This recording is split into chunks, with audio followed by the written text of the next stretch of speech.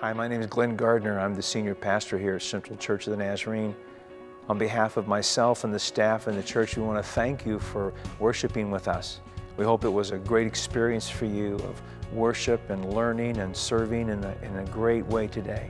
For the next few moments, you're going to get to take a journey to see a little bit more of what Central is about. It's a great place full of children and young people, teens, adults, senior adults, something for all ages, all things happening for lots of people. We're centered around three basic things. We believe we ought to be involved in worship. We think we ought to be involved in a learning experience, some kind of a discipling context in our lives.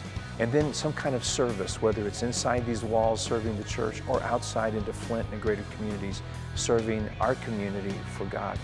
We believe this would be a great place for you to make your church home. Thank you again. And for the next few moments, we want to introduce you a little bit more to what Central is all about. We hope you'll consider making this your church home. Thanks again.